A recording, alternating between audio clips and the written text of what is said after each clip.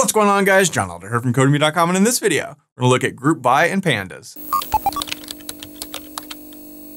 Guys, like I said, in this video, we're gonna look at group by, but before we get started, if you like this video, want to see more like, be sure to smash like button below, subscribe to the channel, give me a thumbs up for the YouTube algorithm, and check out Codemy.com where I have dozens of courses with thousands of videos that teach you to code. Use coupon code YouTube50 to get 50% off memberships, all my courses, videos, and books for one-time fee, which is insanely cheap. Okay, like I said, in this video, we're gonna look at group by, and group by is exactly like it sounds. It groups things by other things. And it's super easy, but very, very useful. And that's what we're gonna look at in this video. And I've got a file here called group by. And as always, you can find a link to the code in the pinned comment section below, as well as a link to the playlist with all the other pandas videos in the series. So check that out if you haven't so far. So I'm starting out the same way we always do. We're importing pandas and NumPy. And I've just created some dummy data here. So you can see we've got three columns, corporation, employees, and salary. And for corporation, we've got Apple, Google, Meta, Apple, Google, Meta.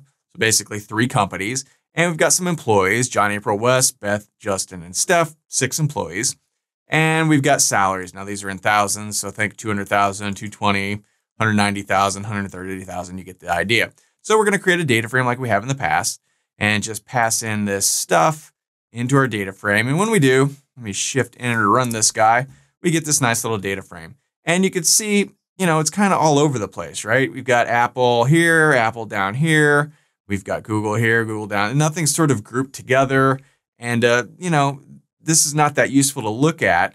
If we want to actually find information that's useful, we need to group some of these things together and then take a look at it. So that's what we're going to do. So let's come down here and let's group by the company, so the corporation. So what we can do here is call our data frame my underscore df, and then we can call dot group by. And then inside of here, we could just pass whatever we want to group by. So we want to group by our corporation. So when we do, we get this weird object looking thing. It's basically just an address in memory. So that's not useful at all. What we want to do is assign that to a variable. So I'm going to call this company and set that equal to that. We shift enter, we don't get anything. If we want to look at it, it's still just going to be that same weird object, right? But now we can do stuff with this company object. So let's say we want sums. We could call company dot sum. When we do that, we get this cool data frame that shows the three companies. It's grouped by company, right? And we can see the sum of all the things. So the sum of the salaries of people that work for Apple is $330,000. And we can confirm that if we want. Come up here, look at Apple, 200, Apple 130, 200 plus 130 is 330.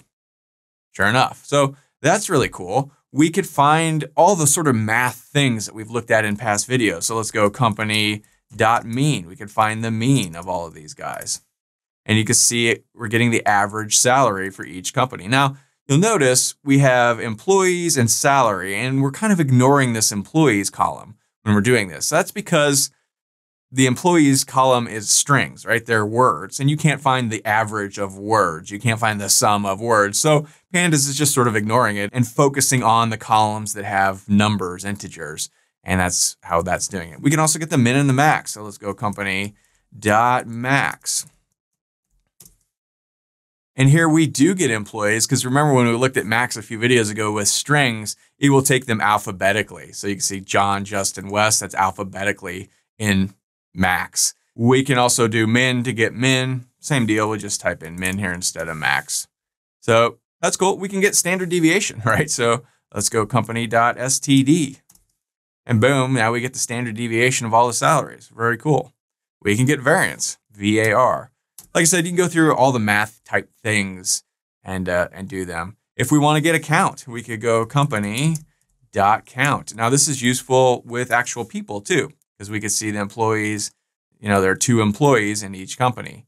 The salaries, there are two sets of salaries in each company. Very cool. So basically, like I said, you could do all the mathy type things. We looked at describe way back at the beginning of this series, and uh, this will sort of sum up everything, right?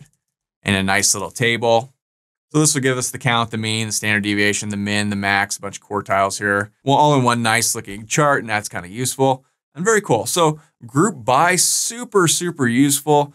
Just a real quick and easy way to, you know, group by anything you want and pull relevant data out. And it's just that easy. So that's all for this video. If you liked it, be sure to smash the like button below, subscribe to the channel, give me a thumbs up for the YouTube algorithm, and check out Codemy.com where you can use coupon code YouTube50 to get 50% off membership. So that's access to all my courses, over 50 courses, thousands of videos, and the PDFs of all my best-selling coding books. and over 150,000 students learn to code just like you. My name is John Elder from Codemy.com, and I'll see you in the next video.